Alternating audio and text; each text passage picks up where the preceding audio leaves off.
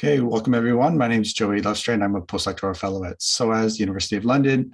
And thanks everyone for joining this uh, linguistics webinar this morning or this evening, depending on where you are. Uh, we have two speakers for today's uh, webinar. One is Lindell Broham, who's Bromham, who's probably the first biologist to speak at uh, SOAS Linguistics webinar. Um, she's affiliated with the Research School of Biology at the Australian National University uh, and the macroevolution and macroecology lab, where they study macroevolutionary patterns and mechanisms. Lindell has a long list of publications and many awards, uh, including the Eureka Prize for Interdisciplinary Scientific Research, which was won with other people in collaboration with our other speaker, Felicity Meakins, who is a linguist uh, at the ARC Center of Excellence for Dynamics of Languages and the School of Languages and Cultures at the University of Queensland. Felicity is well known for describing languages of Northern Australia, uh, including working on four dictionaries, two grammars, two ethnobiologies, and was recently recognized with the Linguistic Society of America's Kenneth Hale Award for Linguistic Fieldwork. Uh, I also know Felicity's work through her collaboration with Jennifer Green and Fanny Turpin on a textbook, Understanding Linguistic Fieldwork, which I would recommend to anyone teaching fieldwork. Uh, but invited both of these speakers here today because of their work on a paper in Nature, Ecology, and Evolution called Global Predictors of Language Endangerment and the future of linguistic diversity. So I look forward to hearing more about that research and related topics from them today. So with that, let me hand it over to you to speak. Thank you so much for joining us today.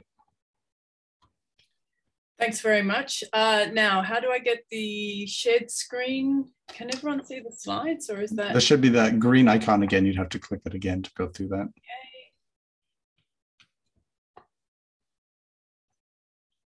Right, is that working? Yes.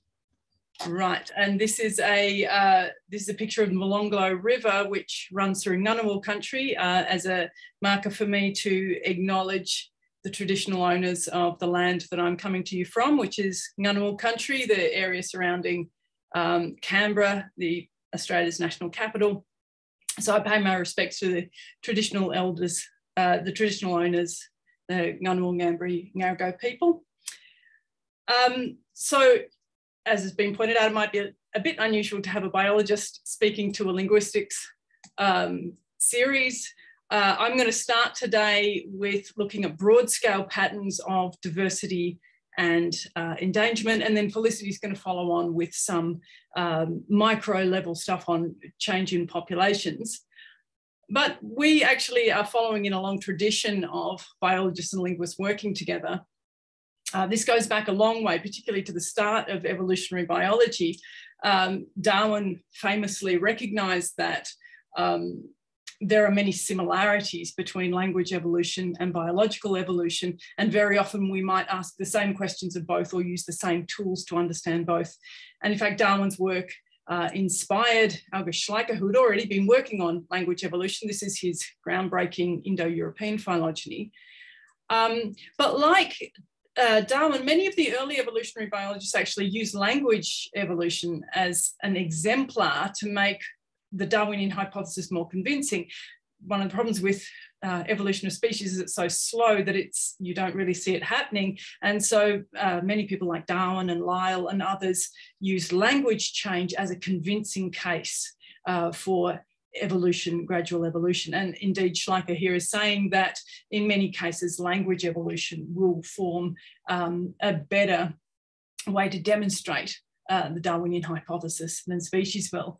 So biologists and linguists have always had this common ground, recognizing uh, common principles, and we can also share some useful analytical tools. So it's certainly ripe for interdisciplinary exchange. And the reason that I got involved in um, language evolution studies is because I found that often as a biologist, I was asking similar kinds of questions to those interested in language change might ask. Um, for example, how does individual level variation contribute to population change? What influences rates and patterns of change? Why are there some hotspots of diversity?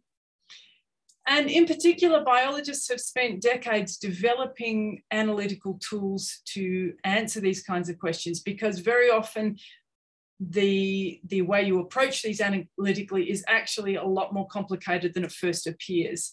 Um, and today we're going to illustrate this with some population models of change over time, which Felicity will talk about. And then I'm going to look at these more macroecological and macroevolutionary uh, comparative methods. And the reason we uh, use biological tools for these is because it's easy to get misled if you don't use the right analysis. So take, for example, the very broad scale diversity of languages over the globe. Now, if you showed this map of number of languages per unit area to a biologist, it would be instantly recognizable to them because it looks like a map of biodiversity. So for example, if you plotted bird species diversity over the globe, obviously it's not exactly the same, but you'll see that the areas of high diversity for species will tend to also be areas of high diversity for languages. So why is that? Um, if we want to ask questions about what's causing these broad scale patterns, we do need uh, a fairly sophisticated analytical toolkit. Otherwise, we can be led astray by non-causal relationships. And to illustrate some of the possible pitfalls, uh, let's consider one hypothesis that has been put forward linking biodiversity and language diversity, which is that biodiversity causes language diversity. Um, sorry, I'm having trouble with my screen um, through a particular kind of biodiversity, which is parasite diversity. Uh, because parasites show the same sorts of biodiversity patterns as other species. So what have parasites got to do with language diversity? Well, a hypothesis published by uh, a number of people, including Randy Thornhill and Corey Fincher, is, that if you live in an area with a high parasite load, well, um, populations that will limit their contact with their neighbours will also limit the chance of infection from neighbours, and therefore this will promulgate um, a cultural isolation, which will lead to language diversity uh, through um, isolation of communities. And you can see that if you plot the number of languages per country against the number of infectious diseases, you get this striking relationship.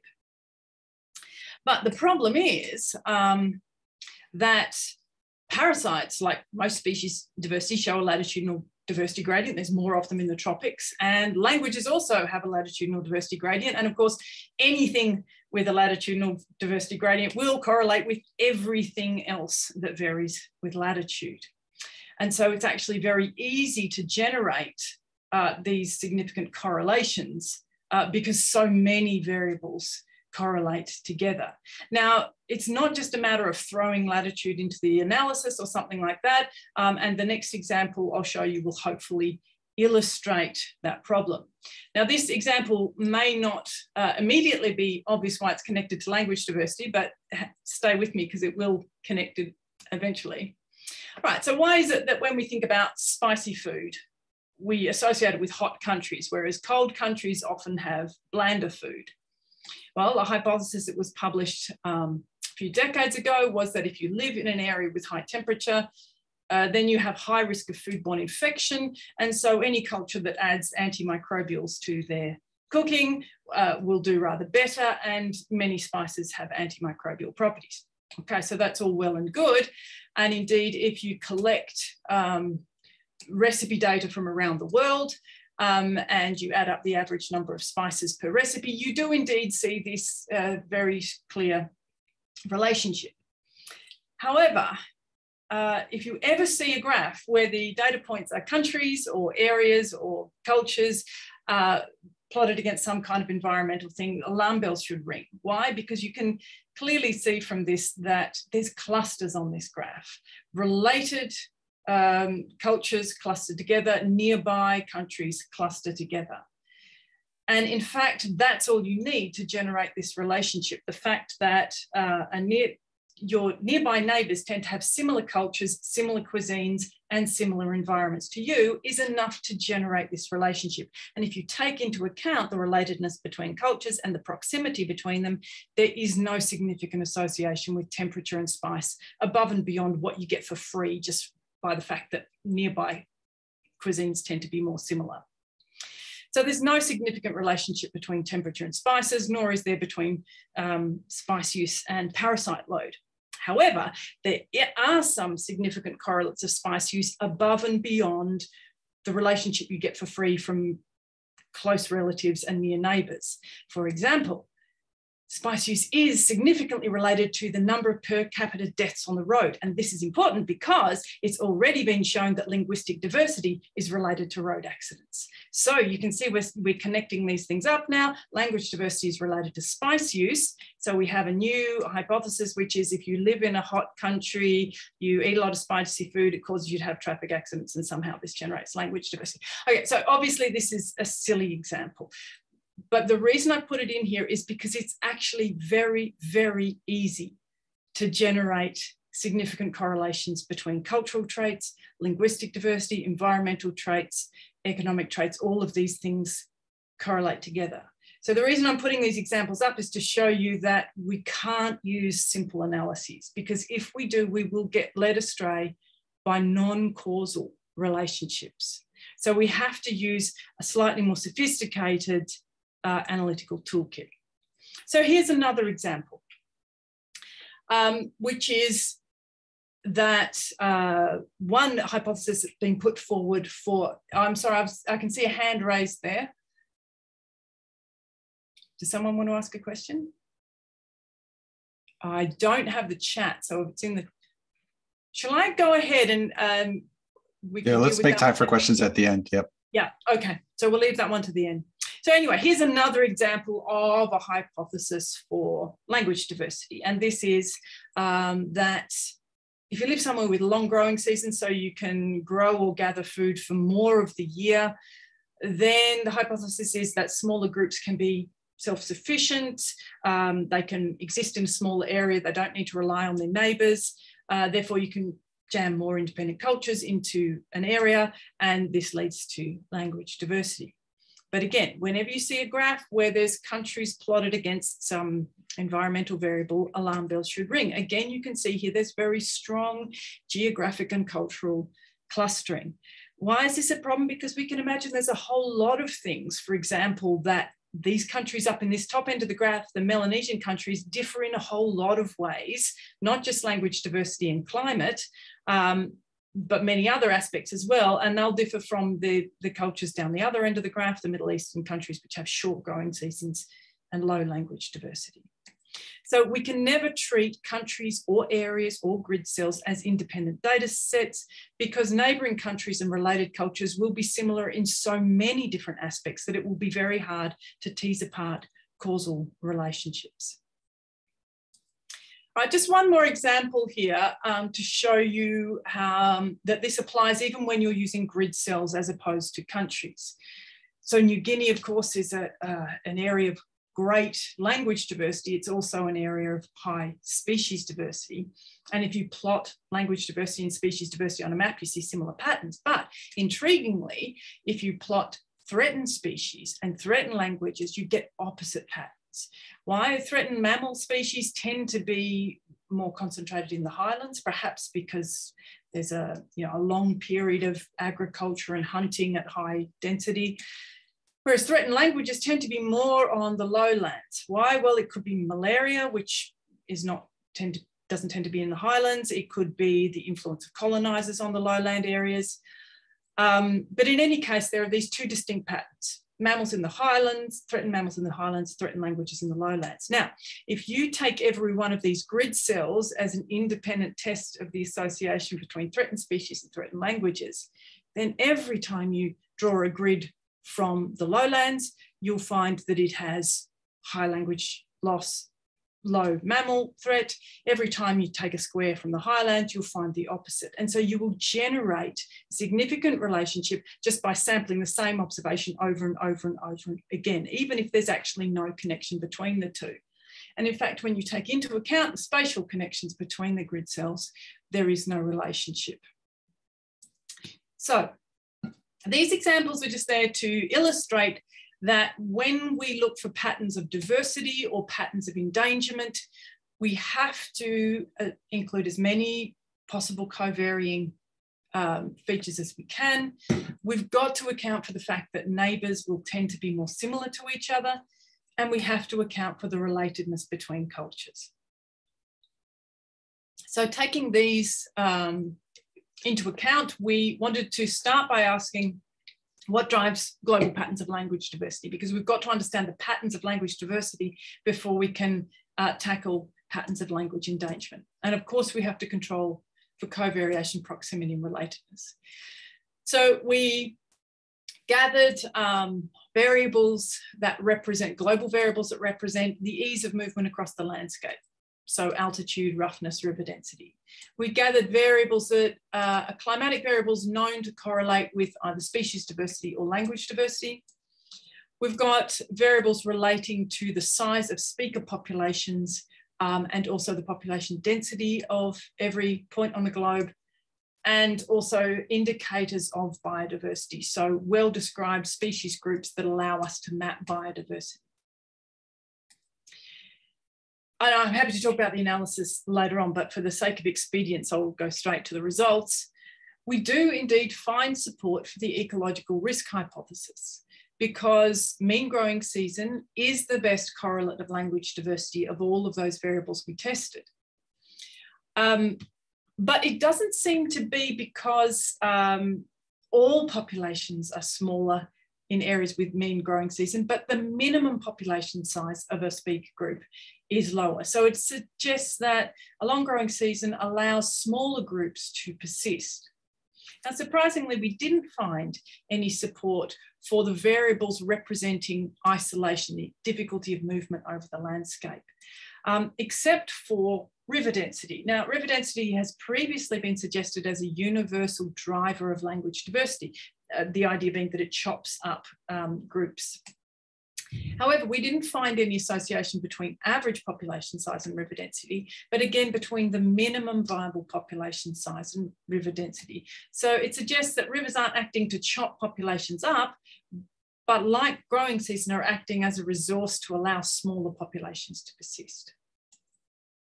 Okay, so using these kinds of analyses where we allow for relatedness and proximity, we can show that there's no direct connection between biodiversity and language diversity. Instead, it's an indirect link because both of them are uh, associated with the same sorts of environments.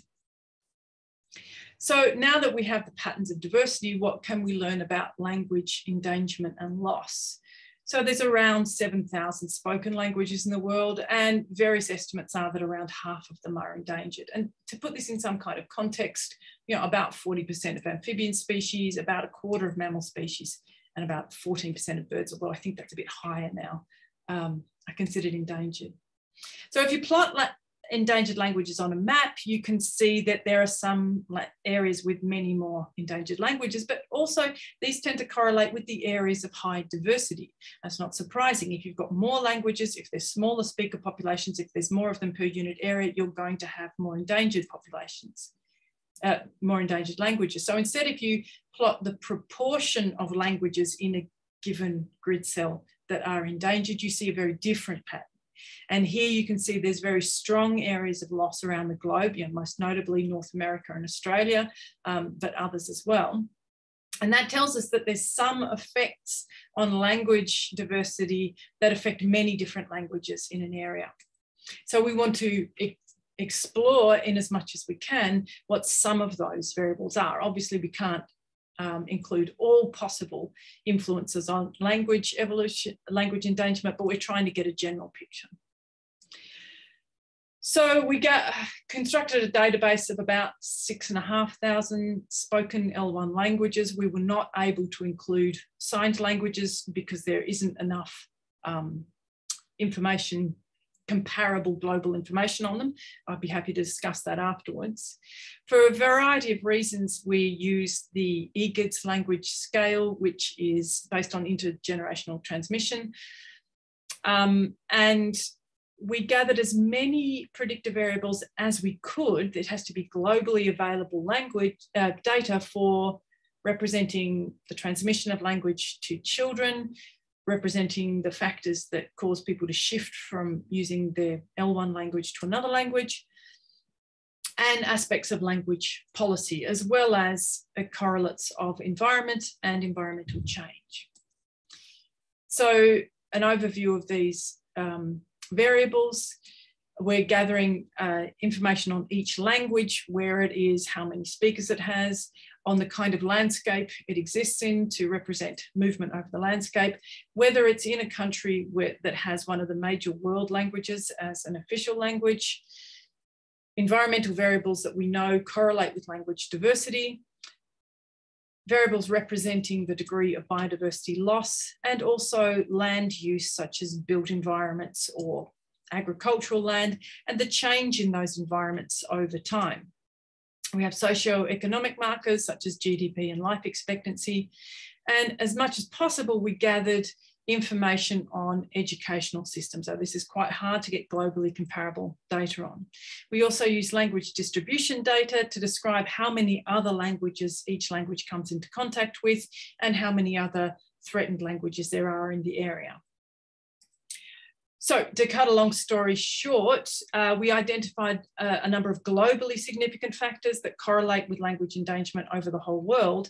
There's also uh, many of the factors are regionally significant. As you'd expect, you're not expecting the same patterns of endangerment over the whole world. Now, I'm not going to talk about those regional factors, which I think need a lot more analysis, but just to give you some examples. So for example, um, temperature seasonality, climate, correlates with language endangerment in Europe, uh, whereas cropland correlates with language endangerment in West Africa.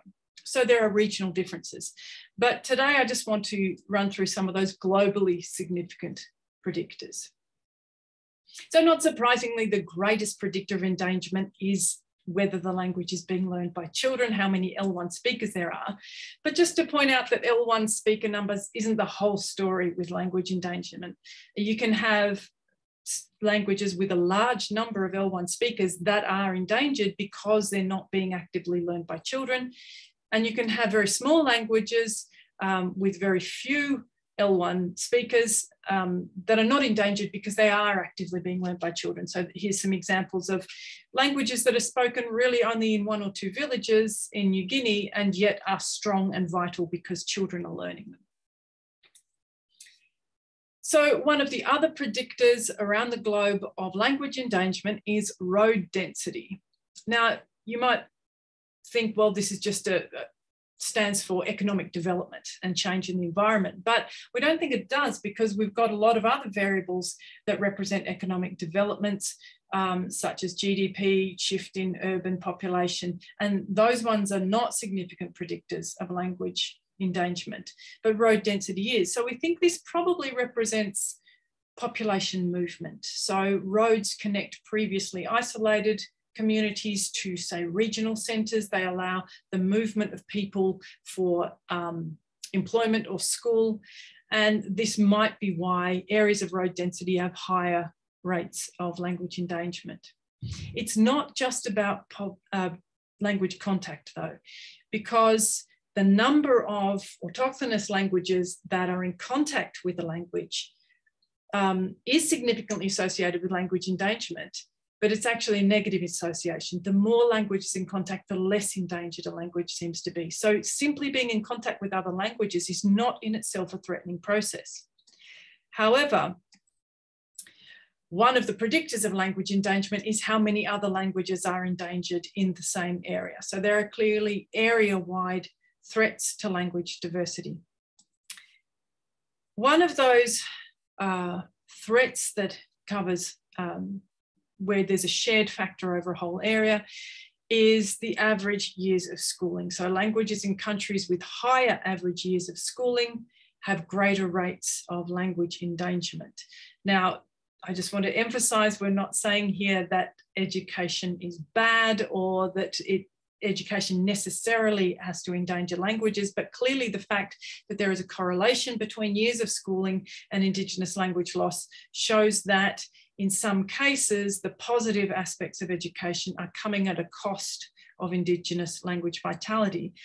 And if you think this is a slightly odd result, it is actually backed up by micro level scale, uh, community level scales. And in fact, Felicity will talk about uh, this in the Australian context uh, in the second half of this talk. So many of these global or regional predictors are things that will actually change over time. Some of them we can't predict, like education policy, but some we can. For example, we can predict if a language is not being learned by children, then when the current L1 speakers have died, there will be no more L1 speakers unless something changes. So we can use the age distribution of speakers to predict that demographic shift in L1 speakers. We can use current patterns of land use change to predict future uh, land use change, and we can use models of climate change to predict change environmental variables. So when we do that, we move the world forward 40 years and then 80 years and say how many languages do we expect to be endangered or to have been um, to have gone silent. Uh, we come up with the fairly broad brush but depressing statistic that we're likely to see a tripling of language loss, uh, even just in the next generation.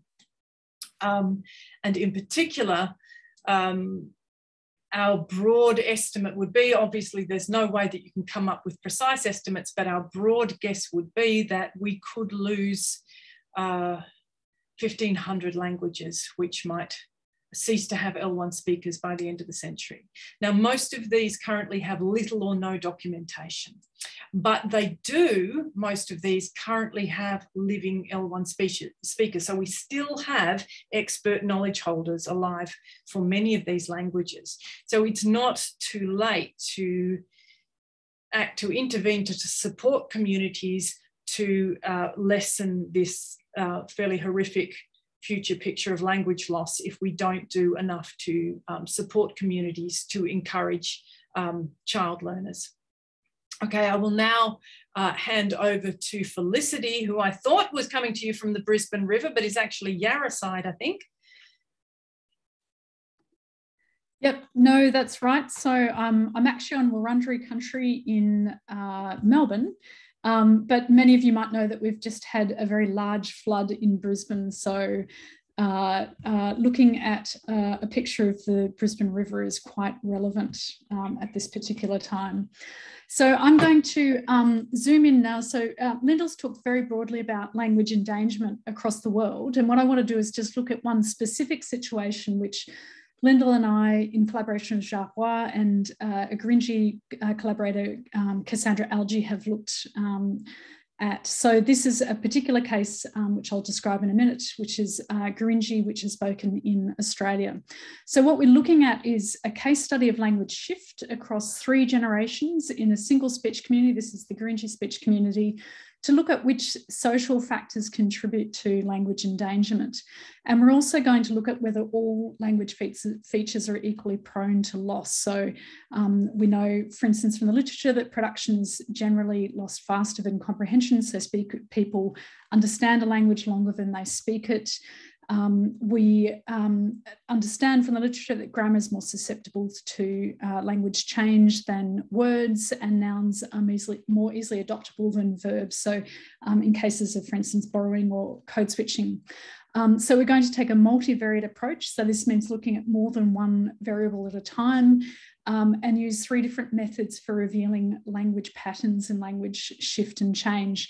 Um, so we use uh, discriminant correspondence analysis, DCAs. These aren't specific to biology, but you know we're still talking about uh, collaborations between biologists and linguists. But we're interested in this case in looking at the degree to which speakers from different groups, which are defined by particular social factors, have distinct language use. We then use mixed models, which quite a few linguists will be uh, familiar with. So this isn't specific again to biology, but to look at how these social factors influence patterns of change. And then um, we're interested in using Wright Fisher models. So these are specific to population um, genetics and this particular methods that Roy has um, uh, um, uh, I guess, specified for um, languages to compare the relative rates of gain and loss of language variance um, within speaker populations over time. So we're focused on uh, Northern Australia to give a bit of background for people who don't know the situation in post, well, in colonial Australia, let's say. There were 300 to 400 languages um, that were spoken before colonisation. Um, there's around 14 now that have been spoken um, uh, continuously since colonisation. There's a lot of language revival um, that's going on, and some of that is pretty extraordinary, actually. Um, and, and the other thing that's going on is um, a, um, a, number of newly emerged hybrid varieties. So one of those endangered languages is one that I've worked on uh, for the past 20 years, Gurindji. Okay, so we're in Northern Australia. Uh, let me know if there's any, still problems. So um, Gurindji is quite endangered. There's um, a, an English-based Creole language which is spoken right across Northern Australia. Um, many people, Indigenous people within Northern Australia have shifted to um, this particular Creole language. For Gurindji people, there's um, a new language which has emerged from this, which is called Gurindji Creole, which linguists refer to as a mixed language. So you can see this language change happening within um, the single language community across three generations. So we have someone like Topsy Dodd um, seen here. She's uh, a senior songswoman in the community and someone I've worked extensively on, on the documentation of uh, Gurindji with the grammar, the songs um, and the dictionary. She's bilingual. She speaks Gurindji and Creole. She actually speaks other Indigenous languages as well. And she also code switches between those languages. And that code switching has formed the basis of Gurindji Creole, the mixed language. So her um, daughter and the next generation down, Deborah, um, speaks Gurindji Creole, uh, which is the mixed language coming from the code switching, but speaks it with quite a lot of variable use. Her daughter now, Vikara, um, who is of speaking age, not just a baby still, um, again speaks Gurindji Creole, but with much less um, variable use. So if we think about Gurindji Creole, we can think about it as um, the adoption of some Gurindji words and grammar, some Creole words and grammar. Um, there's some innovative features, and some of those Creole features have actually um, become a little bit lighter or acrolectalized, as we talk, say, um, in contact with English. And there's just quite a lot of variation. So if we look at this sentence, you can see um, a, the big dog slept next to the table. Um, you've got Creole features like dat, um, uh, one, which is an adjectival marker that clearly comes from one in English. You've got bin, a past tense marker, which comes from been in English. Table is quite obvious. You've also got Gurindji words in there. So you've got warlaku for dog, makin for sleep um, and some innovations. So this innovation here, you've got um, the combination of a locative marker langa, which comes from a long ultimately, uh, which is from Creole, and then the Gurindji locative marker, but this double mark construction makes an innovative construction. But then a Gurindji Creole speaker might equally say a sentence like bigaja, so which is a heavier kind of Creole word for big, um, and they might just use the Gurindji uh, locative marker, for instance, without that Creole locative preposition. Um, so the corpus that we're drawing from is the largest corpus of an, uh, an Australian language um, to date. Um, the data set that we've extracted from this corpus is over 20,000 data points. We've got 78 people um, who are from three generations, who are also coded for the family that they come from, where they live in the community, and their exposure to Gurindji and their exposure to Western education. That's a kind of proxy for their exposure to English. We've got 174 variables with a whole bunch of variants. And if you put this um, in comparison, for instance, to a lot of sociolinguistic studies where there's often just single variable study, you can sort of get the, um, the idea of the extent of this study where we're studying 74, 174 variables simultaneously. So we've got production variables um, versus comprehension variables, so things that people have said versus comprehension tests that people have done um, lexical variables versus grammatical variables and noun variables versus verb variables to answer some of the questions that I'll get back to. So this particular intergenerational corpus um, partly comes from conversational data, um, but to ensure that speakers have had the opportunity to express um, lexical um, uh, features or morphosyntactic features using their variant of choice, we've also used um, picture prompt books. Uh, so a lot of you might be familiar with frog stories, for instance, um, and also director matcher tasks. And I'll give you an example of one of these director matcher tasks, partly by way of introducing you to um, uh, our Gurindji collaborator, Cassandra Algy, who's in this video, as well as Samantha Smiler, who was one of the participants.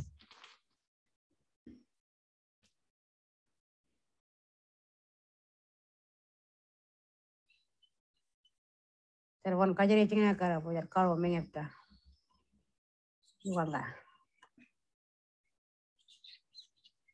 Wan malu makin tebur kanjara.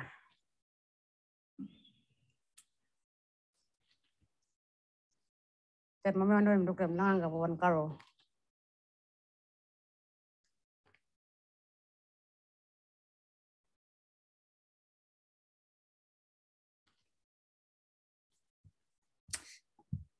Okay, so um, so we had a lot of pictures which um, directors then gave sentences to. Um, and I'm picking out this particular picture again of the dog sleeping next to the table. So we can express this using a Gurindji case marker. You can use a Creole preposition or you can use this innovative double marked construction. And in fact, speakers do different things. So some speakers use pattern A where they just use the case marker. Other speakers use pattern B where they just use the Creole preposition. Other speakers use pattern three where they sometimes use the Creole case marker and other times just use the Creole um, preposition. And some speakers use pattern four where they just use the Creole preposition or they just use the double marking. And these patterns are really important um, because they form the basis of um, what we've dubbed a linguotype. So recording um, which language variants an individual uses for each language feature is what we call an individual's linguotype. And it's an analogous to an individual's um, genotype. So a genotype doesn't describe the whole um, genome. And in a similar way, the linguotype just uses a broad sample of language features um, in, in, in a way that describes the, um, a, sample of the idiolect um, of, a, uh, of a speaker. So unlike classic um, variational sociolinguistic studies, which just track one variable um, at a time, the linguotype provides an unbiased sample of an individual's characteristic pattern of language use um, at a particular point in time. And this allows us to study the process of um, the incorporation of particular language features from la one language into another, um, which we see in this kind of language shift um, context. Um, so getting back to our questions, we're interested in what shapes language change, are the particular kinds of patterns that are predictable, and whether there's particular factors that increase language endangerment and other ones which might preserve um, heritage languages. And we're also interested, if you remember, in the kinds of variants which are prone to loss and language contact.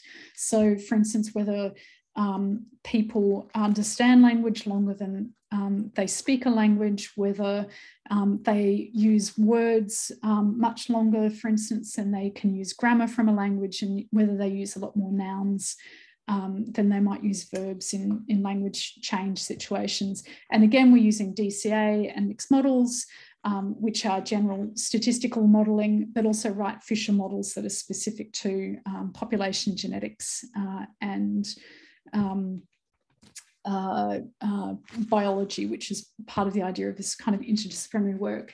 So let's look at the first analysis, which is the discriminant correspondence analysis. Um, and this particular analysis is allowing us to ask whether speakers from different groups have similar linguotypes. Um, and if you have a look um, in this PC space, each speaker's position is determined by their linguotype. Um, and speakers who are closer to each other have similar linguotypes. And what we find is all the sort of social demographic um, factors that we've um, tested for has, have a significant influence on language change over time. But the largest influence um, is generation. And this shows a very strong role of peers in shaping um, language variation. So we found that there were 36 um, variables that were shown to generate, uh, differentiate, sorry, generation one, which are the older speakers from generation two, the sort of middle um, speakers, my generation in a sense, and generation three, who are the child speakers, and then 51 speakers that differentiated these um, uh, adult speakers from uh, the child speakers here. Okay, so um, then uh, another important question was whether um, social fact, which, which of those social factors affect um, patterns of variant use. And for this, we're using um, mixed models. So the most significant um, finding that we had from this was that um, formal schooling, which is conducted in English, this is important, is a significant factor on the loss of Gurindji variants, even amongst the older generations. So even grandparents um, who are this uh, generation here um, with a higher level of um, education are more likely to lose um, Gurindji language variants. So this is the G minus. Um, and they're also less likely to use the, the G plus variants.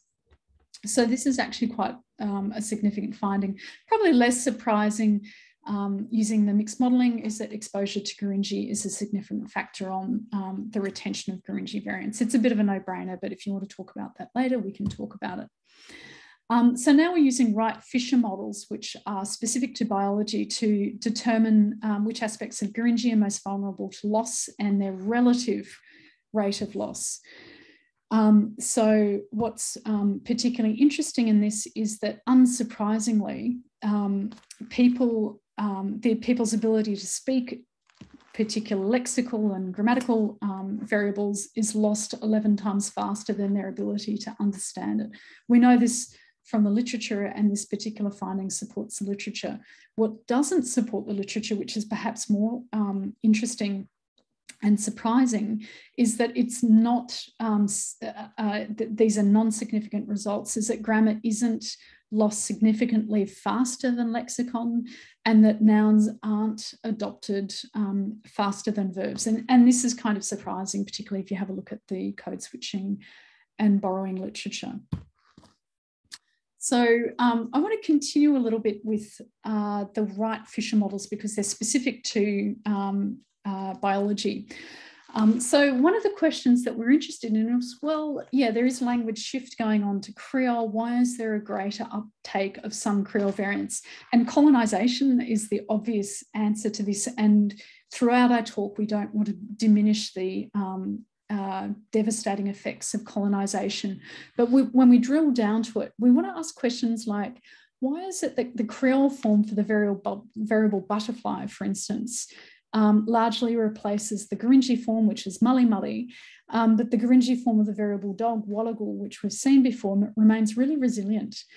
Um, so one of the questions that um, we had, which we are looking at within the literature, is that morphological complexity, for instance, often um, is shown to be affected by language contact.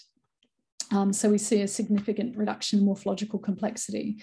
Um, most of these studies sing use single variants, and what we're wanting to do with this study again is to use multiple variables that are chosen for their factor variation. And this avoids the, the issue of circular argumentation. So picking variables that are um, undergoing simplification, which then demonstrates the story you're trying to tell.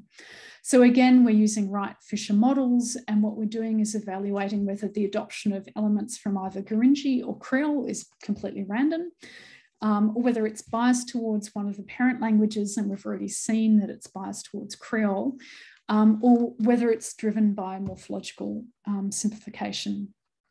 So if we go back to our example of the dog sitting next to the table, we can code these um, variants, uh, variables for, uh, sorry, these variants for uh, morphological complexity. And I can talk about um, how we coded these later if you're interested. Um, but to, for now, just to say that case um, in this case, because its spatial case was um, coded as being uh, medium level complexity because um, it's uh, not contextual, uh, it's, con um, it's inherent case, um, uh, sorry, inherent inflection. Um, the preposition is coded as low um, complexity because it's um, in, uh, a single word, it's not part of a complex word. And double marking is actually, sorry, coded as um, medium complexity as well, not high complexity.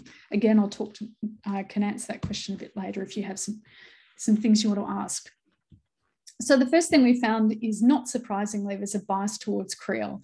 So when you're looking at these this plot as it's emerging, Generation one are the oldest adults. I'm going to reveal generation two, the adults, and then um, the children. What you should be looking for here is the proportion of orange, which is Gurindji, changing to the proportion of blue, which is Creole. So you can see that as you go to the adult generation now, so we're getting younger, you see um, proportionally more Creole, which is blue. And again, as the child generation, we see more blue, which is again Creole. So there's a clear bias towards Creole, both across the lexicon, which is this um, strip here, and then the, the grammar, which is this strip here. Okay, more interestingly, what we find is there's no bias towards simple variants. So complex Creole variants are frequently adopted rather than their simple Gurindji um, alternatives simple Creole variants are almost no, like are also no more likely to be adopted into the contact language Gurindji Creole than complex Creole variants. Um, and complex Gurindji variants also have a greater rate of adoption than both simple and highly uh, complex Creole variants, which is a, a slightly less um, straightforward story. Okay, so in general, there's no um, uh, bias towards simplicity.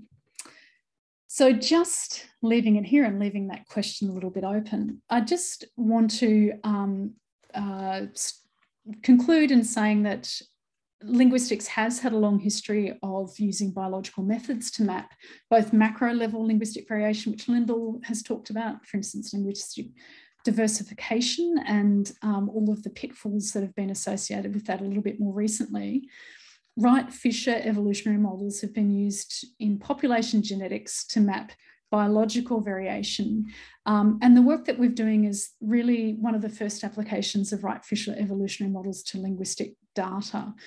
Um, using this kind of modeling does require linguists to scale up and use multiple variables um, and their expression. So to use variants to map across an entire language. So this is our concept of um, and linguotype, and this is a little bit different from traditionally what um, variationalist linguists have done, but we, when we do use multiple variants, we can avoid some of the pitfalls of some of the theorizing on language change and endangerment when we just use individual variables. For instance, this generalized claim that simplification occurs through contact.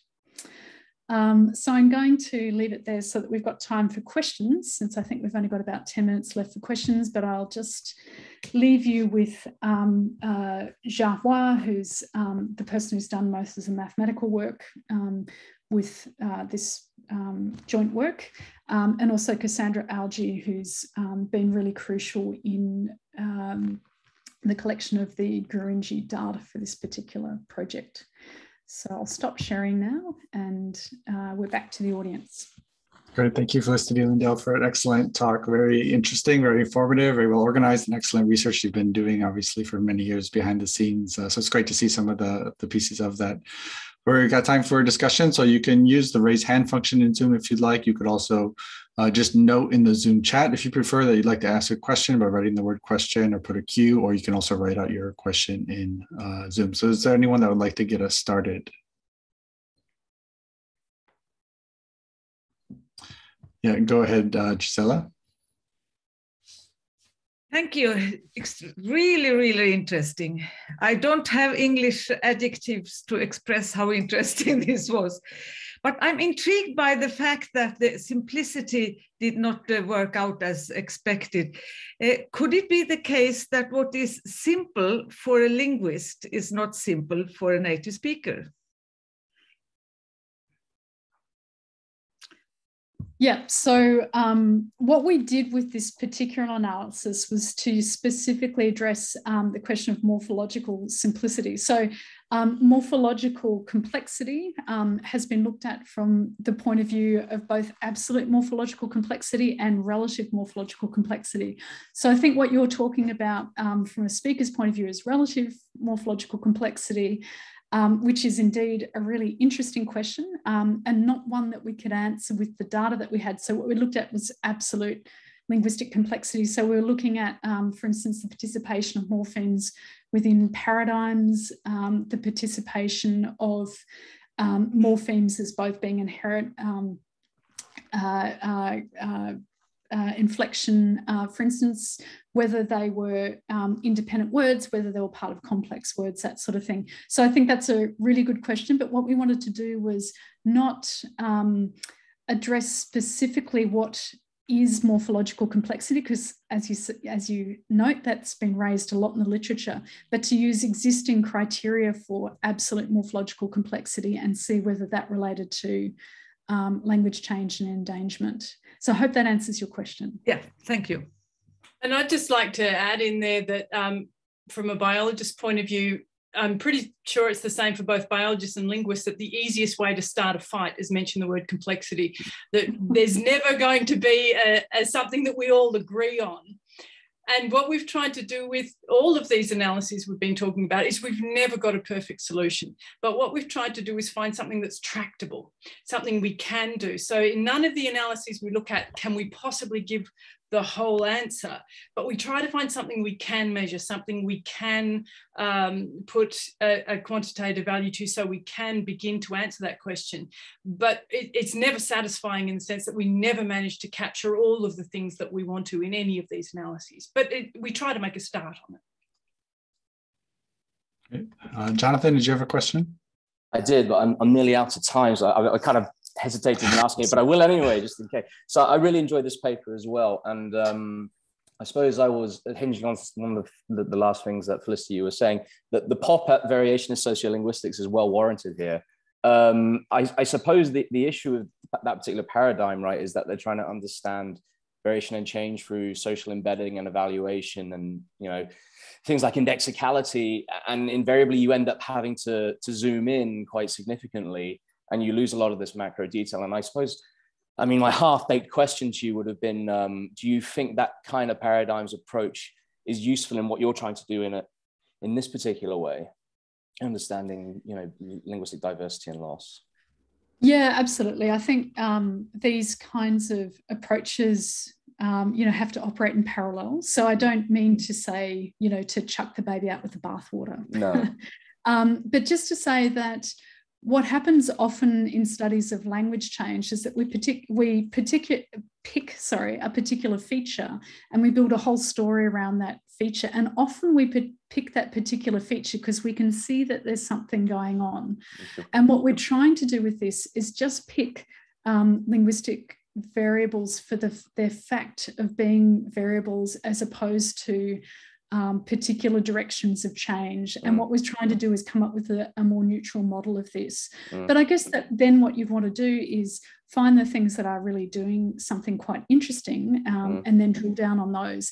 And that's actually already what various sociolinguists are doing. So, yeah, um, like I say, we don't want to chuck the baby out with the bathwater. Um, we're just trying to sort of pull back um, from uh, trying to make bigger statements and global statements about um, uh, language change just based on single variables. Mm, okay, no, thank you very much. Mm. I, I have my own questions, but if anybody else has a question or comment, I'll give a space for that.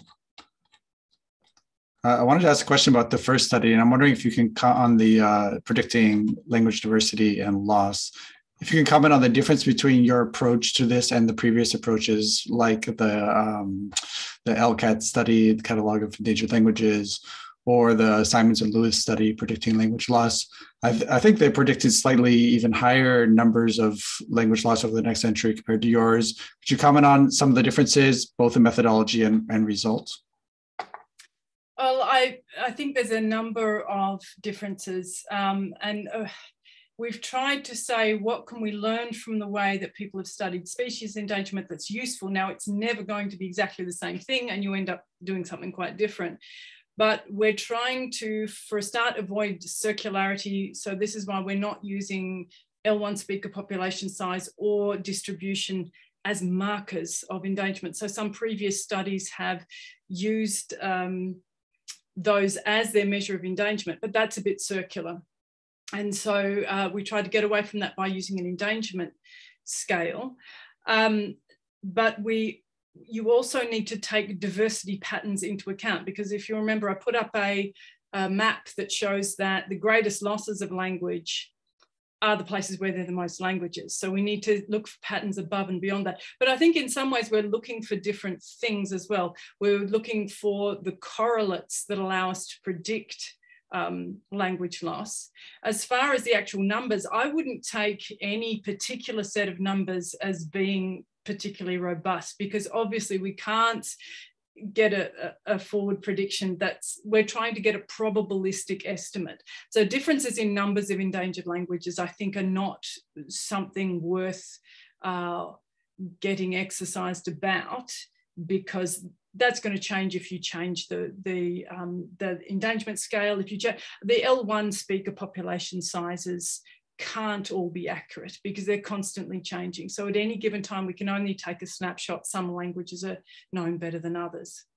So I guess what distinguishes our approach is the number of variables that we've included. Um, I'm not aware of any other language endangerment studies that used anything more than say L1 speaker population size or range.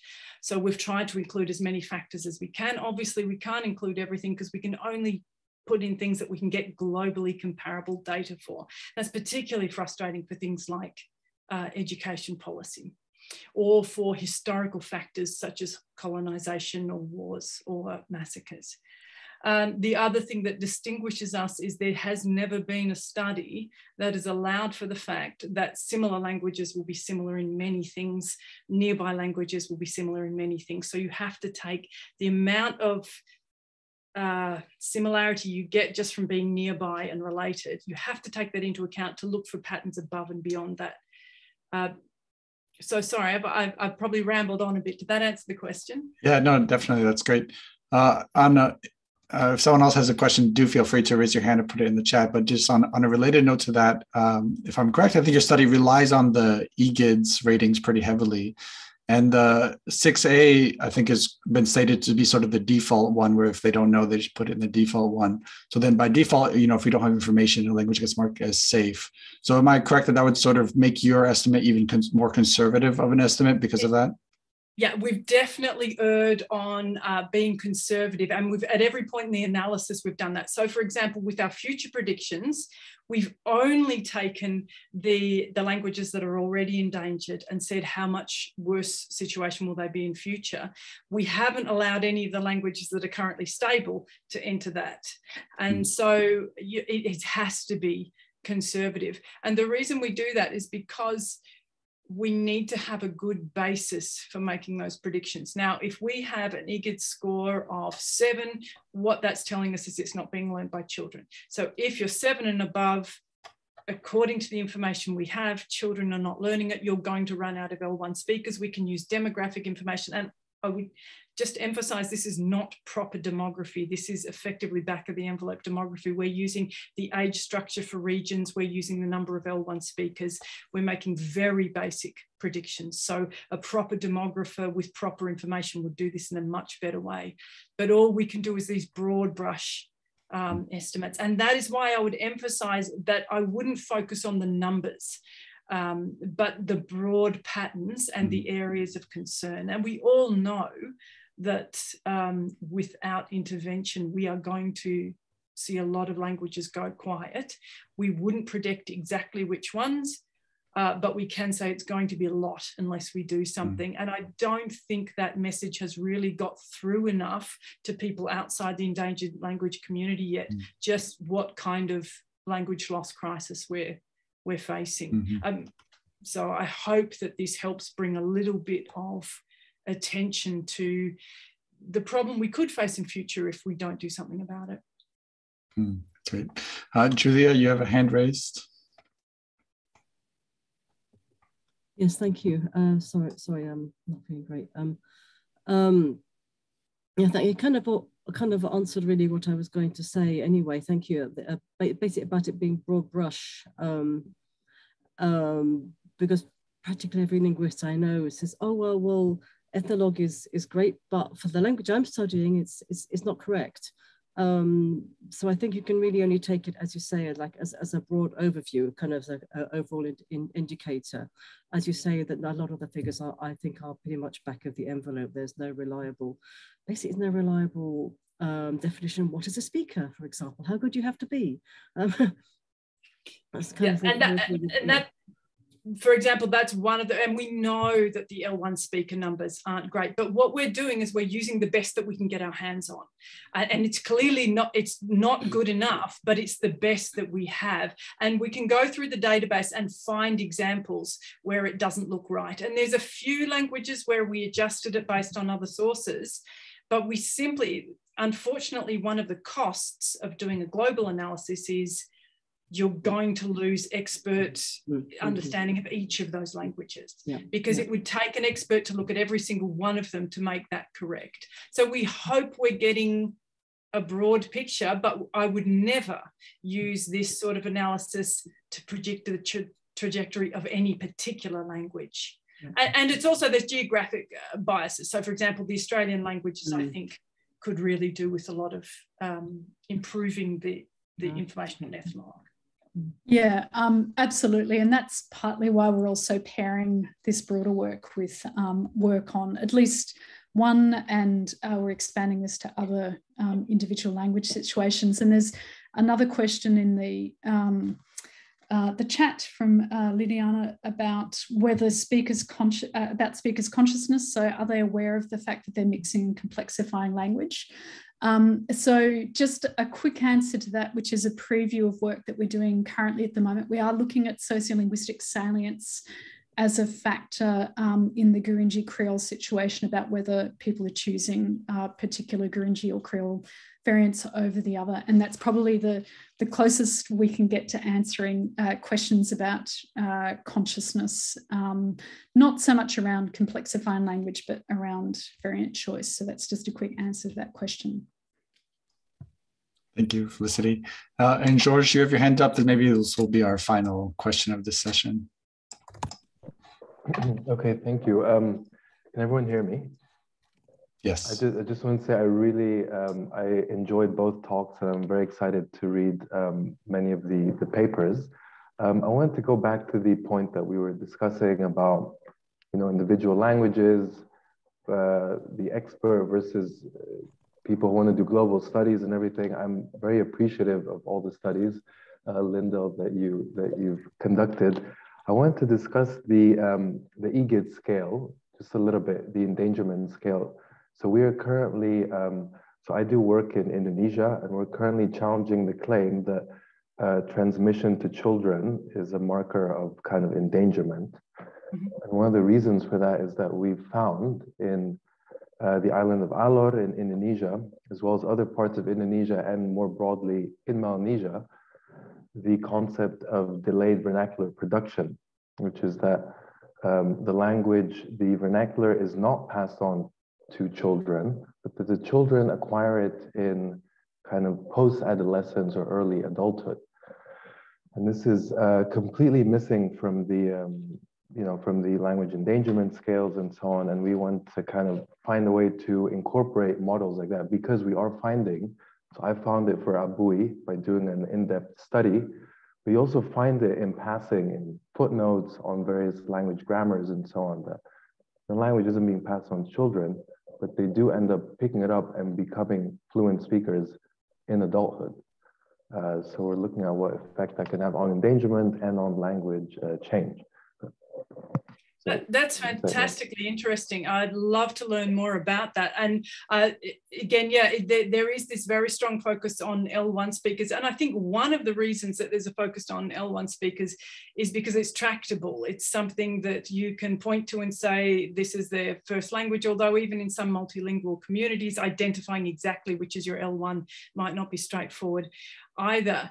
Um, and there's uh, again, we you'd emphasize language revitalization. I think there might have once been the idea that if you're not L1, you could never be, uh, you know, an L1 speaker. And yet we're now looking at, and especially in Australia, there's a really strong language rev- revitalization movement. Now, of course, they are not going to exactly recreate the language that was spoken a couple of generations ago, but they're going to reclaim language. They're going to reclaim important elements of it. So I agree with you that there's this binary scale L1, L2, um, and, and it can't represent everything on the ground. Um, and in that case, we need a new way of measuring that and reflecting it in the endangerment status. Now, I'll just say why we used EGIDS as opposed to the other scales that are around. We looked at all of them um, and we, we mapped all of them. And of course, in most cases, they, they agree with each other. The practical reason we used EGIDS is it's available from more more languages. So for something like the UNESCO rating, they tend to only evaluate endangered languages. And we, for our analysis, we need a rating for every language, not just the endangered ones. For something like AES, uh, again, it's just available for fewer languages. And it also, I think they're starting to iron this out now, but there's also some issues with AES where within the language hierarchy where you have umbrella languages or dialects, uh, the AES score sometimes gets, um, so you'll use the score from the higher level to apply to the lower level and things like that. So we just, we did investigate all of these things and we uh, had to choose EGIDS because if we wanted to do a global scale, it was really the only viable option we had. We would have just cut, we would have had a bias sample of languages otherwise. That isn't to say there won't be a better way of doing it in the future. So I would hope that people look at the study we've done and go, well, hang on, that's not right because it's missed this. And then they go out and do it better. So I think we've done a better job than previous because we've brought more in but obviously we haven't brought enough in. And obviously there's better ways of doing it. So I hope this is just a stepping stone and we get better analyses after this. Yeah, and just to add to that, um, if you look at individual language situations, uh, the one that you're talking about in particular actually sounds very interesting. So we've just had a study that's actually come out for Gurindji, Gurindji Creole, that looks at um, long acquisition. Um, and so what we're trying to do is work out whether um, some features of the language are due to long acquisition or whether they're due to language shift.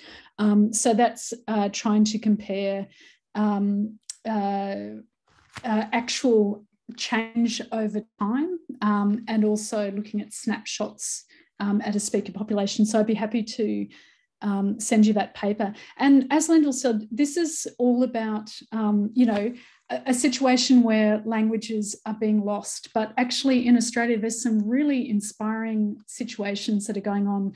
I've just been um, down in northern New South Wales talking to Gumbaynggirr mob. They now have um, a first language acquisition school. I'm so inspired by the work that they're doing down there.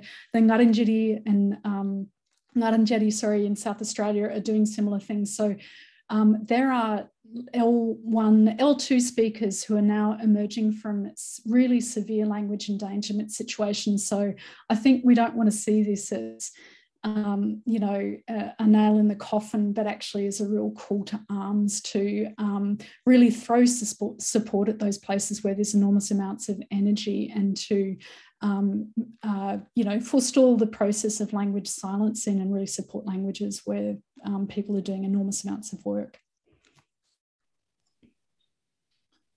Thank you, George, for the question. Thank you, Lindell and Felicity, for agreeing to be with us this morning, this evening, your time. I know it's probably past work hours for you and staying extra late to be able to speak to us.